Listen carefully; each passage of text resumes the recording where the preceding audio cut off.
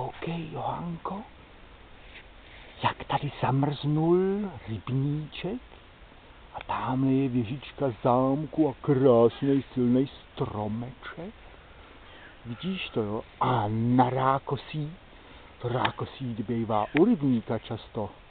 Tam potřebuješ mít vlhkou půdu, což tady je, a pak tam roste rákosí, ale někdy vpadne na něj sníh, což se tady u jezera stává málo kdy, ale na Vánoce to je hezký.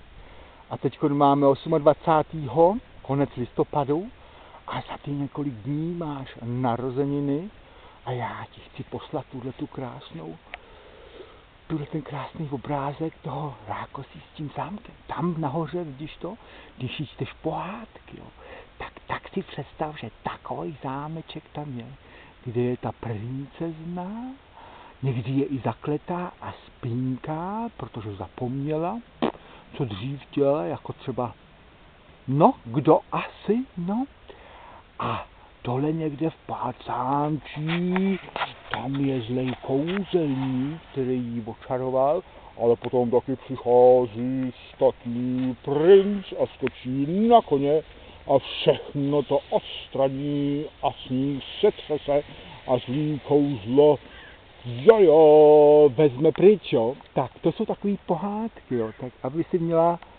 hezký narození, ti přeju já. Ti, myslím, že tady taky to mám doma někde nějaký fotografii, ale po každopádně ti z toho jezera tady udělám takový skládačky, jo. Aby si si to mohla položit na zem a potom to skládala dohromady, jo. Jo, tak zatím měj hezky. Pa, pa.